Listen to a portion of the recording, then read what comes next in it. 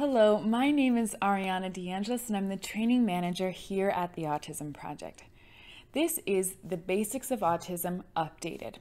And if you'd like to hear more about why we chose to update our original Basics of Autism video, please stick around to the end where I'll go into that in a bit more detail.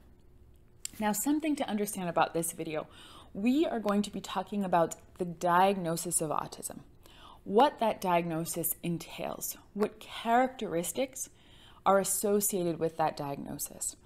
But what we're not going to do today is talk about who a person with autism is. Because, like all of us, a person with autism is this unique kaleidoscope of skills, challenges, passions that evolves throughout the person's life. Every person with autism is unique and different. So, anyone that's in your family, any child or spouse that has autism, any friend or coworker, making connections with them on a personal level will teach you more about who they are. What we're going to talk about today is the what of autism. What does that diagnosis mean? And I'll provide a few examples for you as well. You'll also hear me switching back and forth between person first and diagnosis first language. So you'll hear me say autistic person or person with autism. There are two camps here, or two schools of thought. Some folks don't want to be classified by their diagnosis. So saying a person with autism, putting that person first, and then the diagnosis follows. Others prefer to be categorized by that diagnosis because it's something that represents who they are. So, in order to respect both sides, you will hear me flipping back and forth between those two terms. With that, let's get into an understanding of the diagnosis of autism. At the Autism Project, we start all of our trainings with the definition of autism by the American Psychological Association. Now, in thinking about why, it's specifically for that word that you see in bold neurodevelopmental. Autism is a neurodevelopmental diagnosis. It is not a behavior diagnosis. So when we think about neurodevelopmental, we think about these behaviors we see on the surface from a person with autism or these characteristics that we may see are the result of that individual's neurology and the way that that neurology processes their external environment and their internal environment. So here's an example. I was working in a kindergarten classroom. I was doing a consultation there, and I was sitting in the back of the room observing the student I'd brought in to take a look at. And this little boy was sitting in his desk, and he had been sitting for about an hour and 15 minutes. This was right in the middle of COVID, so the children weren't able to play as groups and get up and move about the room as much. So he'd been sitting for quite a while. So he started to pound his fist against the desk and he was making a lot of noise. The other kids around him were saying, Oh, Joe, you're being too loud. Oh, stop, I can't think. The teacher redirected the little boy as well. Now, on the other side of the classroom, there was a little boy with a behavior disorder. Same situation, banging his fist against the desk. The little kids around him were going, Oh, Joe. And I used the, the name Joe for everyone just to protect everybody's identity. Joe, you're being too loud. The teacher was redirecting him. And the difference, we saw the same behavior from these two little boys. The little boy with autism was trying to stay regulated. He was trying, he'd been sitting for a long time. He was getting anxious, he was getting antsy, like any kindergartner would, sitting for that long. But for him, it was a unique challenge. His body needed extra movement and extra input in order to stay present and attend to the lesson. So he was feeling anxious and started to pound his fist while looking up at the ceiling and working to stay in his seat, to stay as regulated as he could. The little boy with the behavior disorder on the other side of the classroom was looking around. Who is reacting to me pounding my fist against the desk? How can I get more of a reaction? What if I'm louder?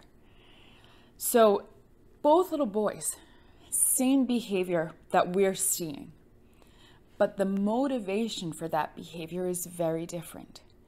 the little boy with autism, his neurology, the way that his brain works, led to what we saw on the surface. So, so often our kids with autism and our adults with autism are seen through this behavioral lens. What is she trying to get out of this? Why is he manipulating me? Why doesn't she care? Why aren't they trying harder? But it's not this behavior that we need to address, but rather what's happening below the surface. Once we understand what's going on below the surface, whether it be communication challenges, self regulation, or sensory challenges, medical concerns, social challenges. Once we understand what's happening below the surface, we can provide those supports to address the child or the adult's needs. So it's so important. If you if you hear nothing else from this presentation, thinking about switching your perception of folks with autism and looking at them through that neurodevelopmental or neurological lens.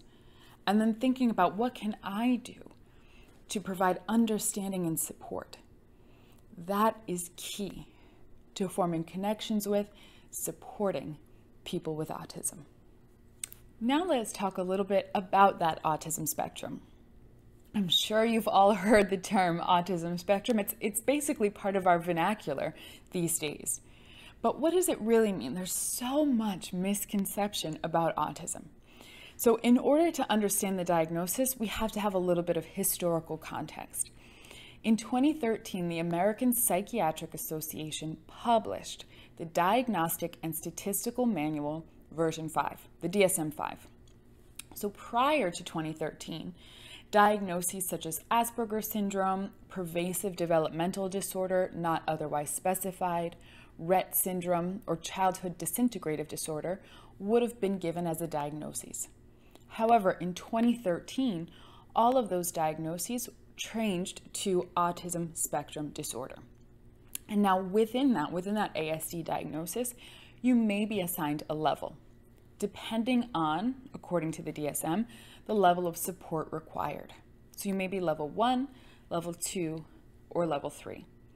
Some diagnosticians, when diagnosing, do not assign a level to the person's ASD diagnosis especially in that early childhood, thinking like birth to five range, you likely won't receive a level because there's so much variability within that time period.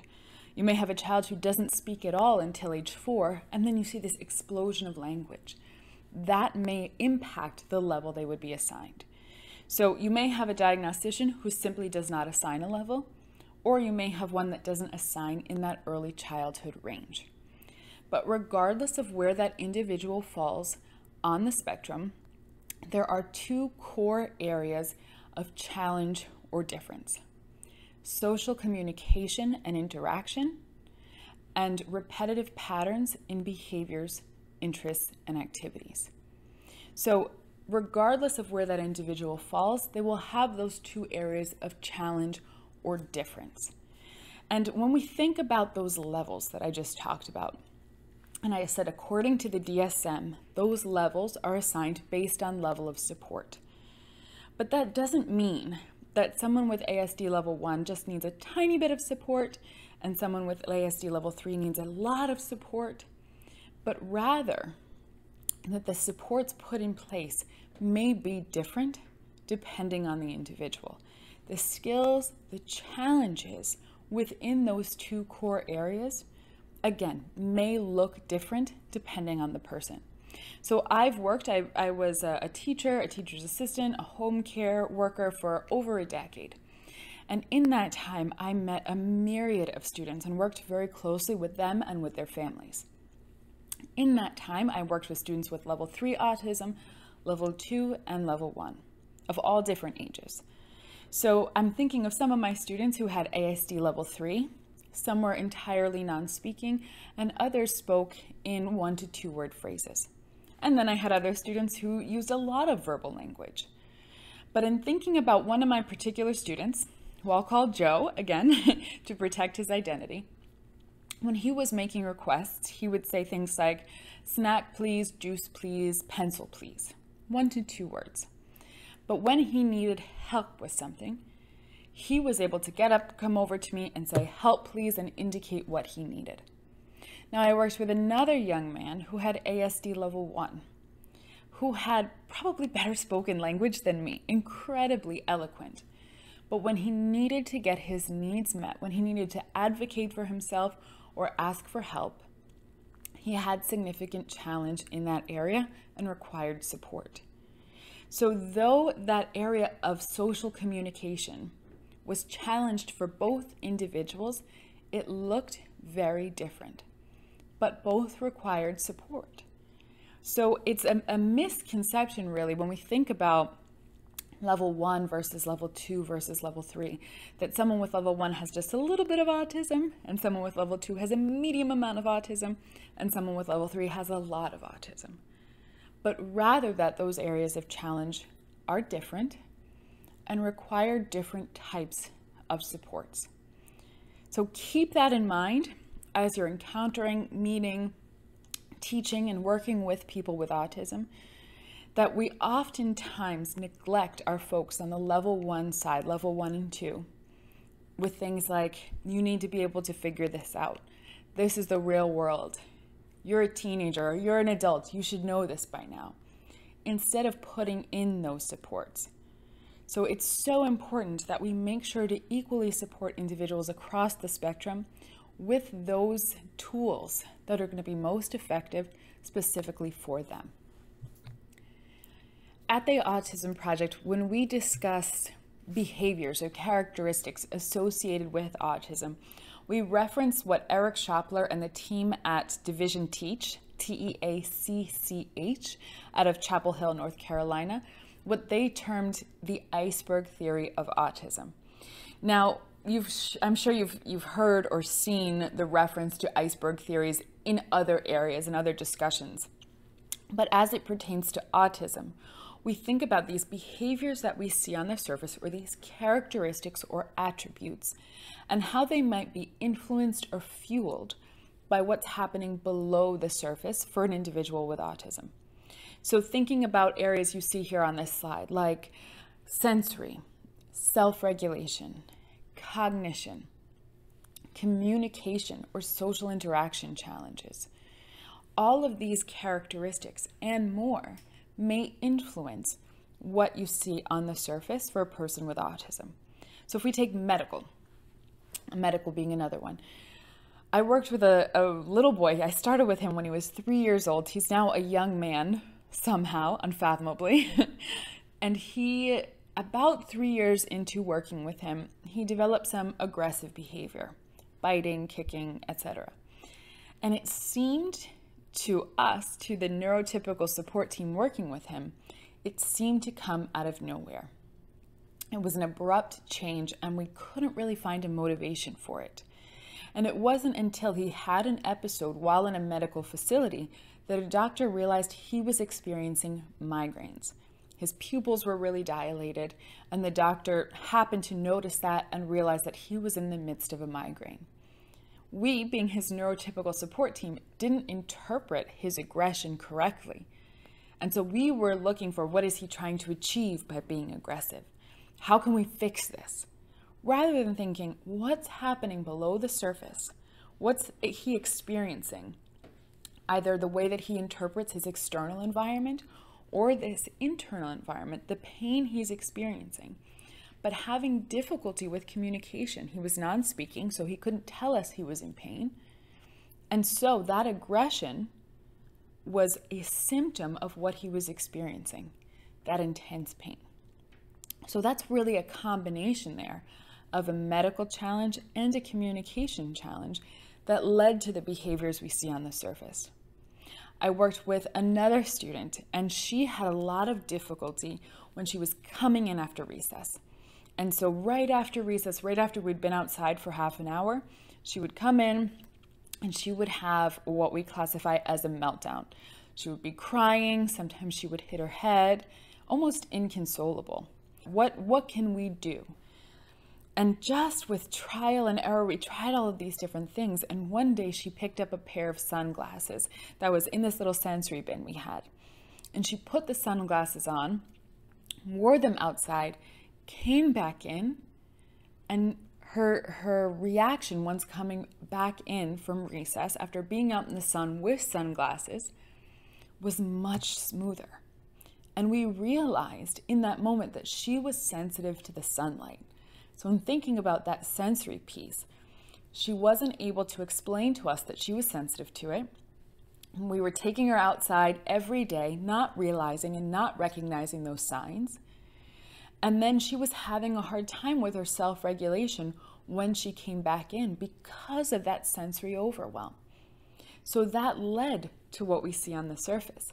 And in preventing that meltdown, we proactively supported her sensory needs through the implementation of those sunglasses. And it's so important here to note if you have any questions about self regulation or sensory challenges, please reach out to an occupational therapist because they will provide a wealth of information for you. In the same way, if you have questions about communication challenges, absolutely speak to a speech language pathologist. If you have questions about medical, speak to a doctor. So please bring in all of these different professionals to help you support the autistic people in your life in thinking about social interaction challenges. There are, many different areas within social interaction. There's that initial reciprocal back and forth. When you first meet someone and you're sort of exchanging information about each other. Hi, my name is Ariana. I live in Rhode Island. What's your name? What do you do? Having that back and forth can be really challenging for a person with autism. Or you may have a person with autism who's really successful with that initial back and forth, but may have challenges maintaining friendships and relationships. I can think about a young man that I worked with here at the Autism Project, and we were at our summer camp. And he went up to another camper he'd never met before and said, Hi, my name is Joe, and I really like Minecraft. Do you like Minecraft? And the other camper did, and they had this fabulous interaction for about I would say 40 minutes going back and forth about what they knew about Minecraft. And of course, it all went right over my head, but it was this great connection. The next day, he came back and reintroduced himself and began talking about Minecraft and talking about the same topics he had talked about the day before. It was his area of high interest, and he had these great scripts going for how to discuss it and how to talk about it. But then shifting to something else was challenging for this camper. And so that connection between the two of them unfortunately dissipated, and the other camper went and connected with someone else. So that can be a challenge. That maintenance of relationships can be a challenge. Another challenge in the area of communication is nonverbal communication. So I'm using so much nonverbal communication right now. I am looking at the camera, I'm, I always get self conscious when I start to talk about it, but I'm using my hands. I'm enunciating my words and I'm changing the volume and the tone of my voice. If I was giving you this same content, but I was like this and kind of leaning back and you can't really hear me, if I was interacting with you in that way, your interpretation of me as a presenter, of the content that we are discussing, is completely different. So, my ability to use nonverbal communication influences the way that you perceive me and you perceive the content. Not only that, but my ability to read nonverbal communication significantly influences my social interaction. So, another example I was working with a young lady who she was having a conversation with a classmate and then that classmate became disinterested and turned her back and started talking to someone else behind her. And the young lady that I was working with continued the conversation to that person's back because she had misinterpreted that nonverbal cue and didn't realize that that person was no longer invested or interested in that conversation. So these areas can be significantly challenging for a person with autism when we talk about cognitive challenges, thinking about things, different ways of thinking. So, executive functioning can be challenging, and that is a really broad term. Planning, organizing, time management, shifting from plan A to plan B, working memory, all of that falls under executive functioning. But those specific areas can be challenging for a person with autism. Keep in mind that it can be challenging for all different types of people. It can be challenging for folks with ADHD. I'm sure all of us watching this video, I know I can attest to the fact that there are areas of executive functioning that I have challenges with. You do not have to have a diagnosis of autism to have challenges in any of these areas. But just keep in mind that people with autism may experience these challenges and require support.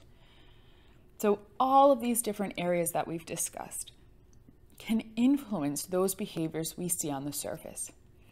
And when we understand that, again, it's the way that that person's neurology is interpreting, processing, and reacting to the external and the internal environment, and that leads to behaviors. Once we have that understanding, then we can put or begin to put appropriate supports in place. We are still learning all about the different components of autism and what those components may look like in different individuals.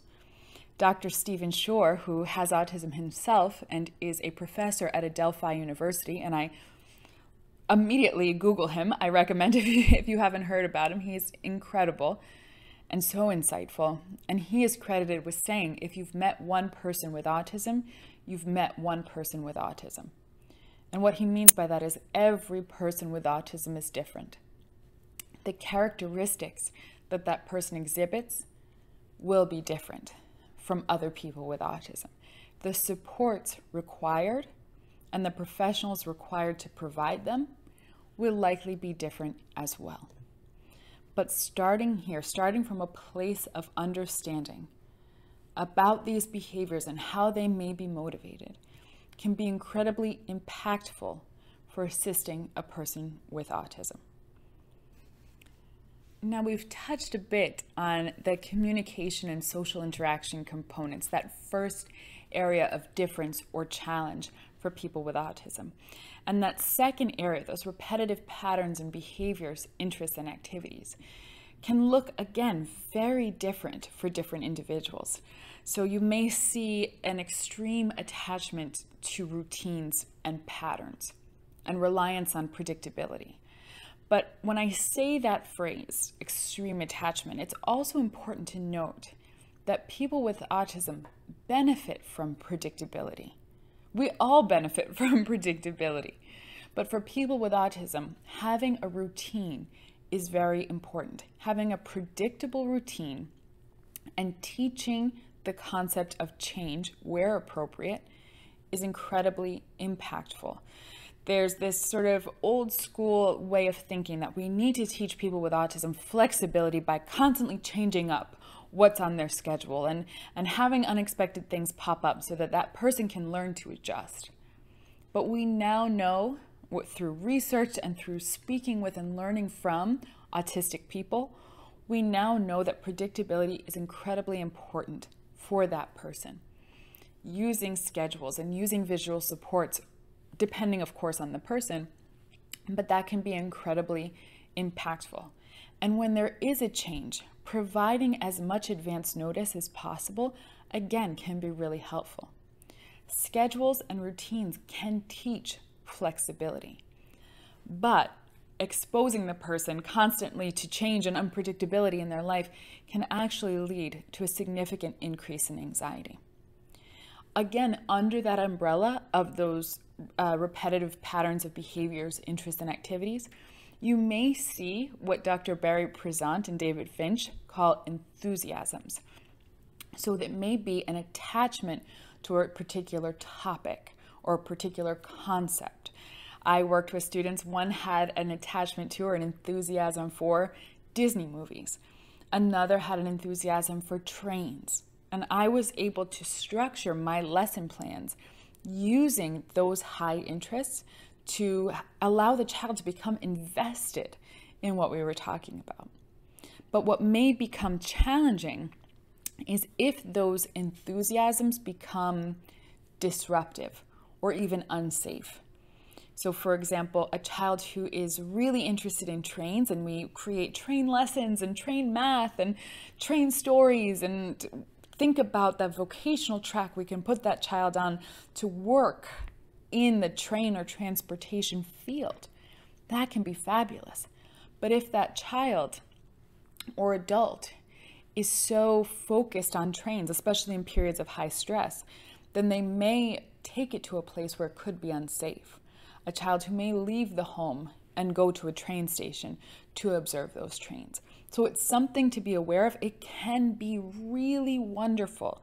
People with autism can form social groups around these high interests. It can be an incredible benefit, but it is also important to recognize when it may be a challenge and again to put those supports in place. The person with autism, we talked a bit about sensory previously but may have areas where they are hyper reactive to sensory input or hyporeactive, hypersensitive or hyposensitive. So you may see an over-responsivity to sensory input. Could be visual stimulation. We talked about lights, but it could also be a lot of things in the visual field. Auditory stimulation. It could be tactile, it could be touch, the feeling of certain fabrics. It could be taste, it could be smell. It could be challenges with vestibular, your sense of balance, or proprioceptive, your muscles, your joints, your ligaments. Or it could be interoceptive challenges, those feelings that your body, your internal organs are giving you back. Feelings of illness or pain or hunger, thirst, the need to go to the bathroom.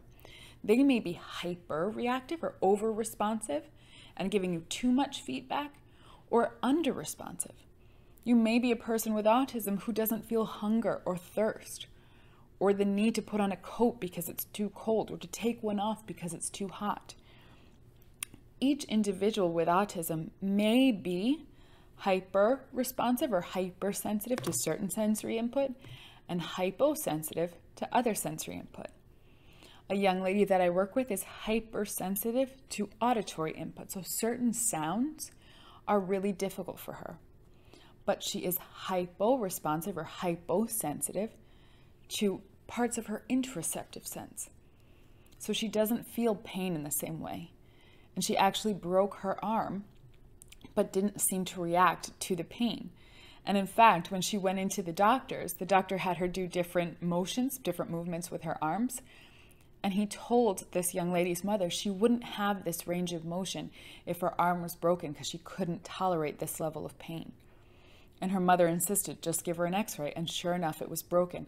But she didn't experience pain in the same way. So there are so many different components of autism. And again, each individual is different, and all of the different characteristics I've spoken about today may or may not apply to the people that you know, the people that you love, the people that you support in your day to day life, or the person that you are if you have a diagnosis of autism. And please know, as I've gone through all these different characteristics, I have spent over a decade of my life learning from people with autism. And my students, my autistic students, truly are the greatest teachers of my life. And I am privileged now to sit here with all of you today and share their stories and their experiences as I understand them. And as I go through this role as training manager at the Autism Project, I will continue to update this video as I learn more, as I understand more, and as I am given more information from the autistic community. The more I learn from them, the more my language about autism changes, the more the way that I describe autism changes, and the more that the way that I understand autism evolves. The way that I support people with autism evolves. So the way that I understand it today is not how I understood it back when I was working as a paraprofessional at 19 years old. And I'm 35 today, just to give you an idea. So each of us within this community is evolving in our understanding. And it's so important for me as a professional, especially as a neurotypical professional, to continue to revise the way that I discuss autism, the way that I interact with all of you, and share what I've learned. So I thank you sincerely for joining me today. And I thank most of all the autistic community who shares their experiences with me and with the world at large every day. If you have other videos you'd like us to make, please leave them below in the comments. Let us know what you'd like to see, and we will be more than happy to provide. And thank you very much for your time. We hope you all have a wonderful day.